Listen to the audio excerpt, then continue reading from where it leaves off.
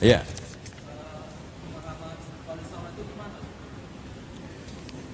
Intinya begini, Wali Songo ini akal-akalannya e, cendekiawan Jawa.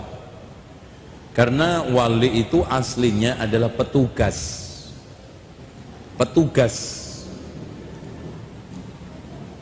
Petugas dakwah. Dan kalimat ini sampai sekarang masih kita gunakan. Contoh wali kota. Eh enggak? Kok ngikutin enggak mas? Nyambung enggak mas? Wali kota artinya apa? Petugas yang mengurusi kota. Bukan orang sakti kan? Wali murid masih dipakai. Berarti di sini petugas dakwah yang dikirimkan oleh pemerintah Utsmani ke Jawa untuk berdakwah di Jawa. Dan jumlahnya sangat banyak tidak sembilan.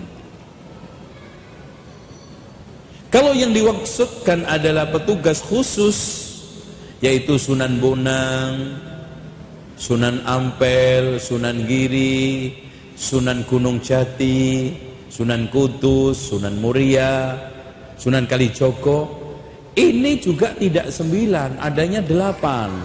Akhirnya dicari-cari yang ke sembilan siapa? Oh, Syekh Maulana Malik Ibrahim. Ada yang mengatakan, oh Siti Jenar. Terus sekarang Syekh Jumadil Kubro, Syekh Jamaluddin, Syekh Ali Akbar, Subakir, semuanya mana? Gak masuk dan masih banyak wali-wali Arab yang nggak tertulis, nggak terbukukan, wali-wali lokal yang nggak terbukukan.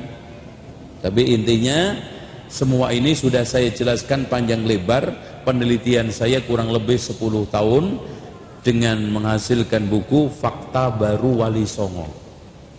Di sana saya pedar dari hasil penelitian buku yang ditemukan di Italia di mana buku itu atau catatan di daun lontar atau rontal yang setelah diteliti oleh para peneliti dan diterjemahkan oleh Profesor Dr. Drewes, sarjana Belanda yang ahli bahasa Kawi, nyata-nyata ditemukan dan ditegaskan ini adalah tulisan asli wali-wali tersebut.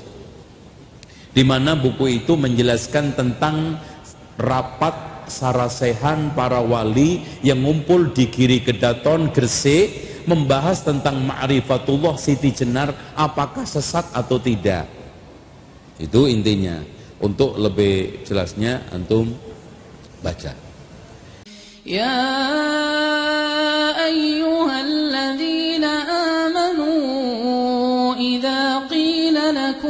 tafassahu fil majalisi fafsahu فافسحوا يفسح الله لكم. وإذا قيل انشزوا فانشزوا. يرفع الله الذين آمنوا منكم والذين أوتوا العلم درجات.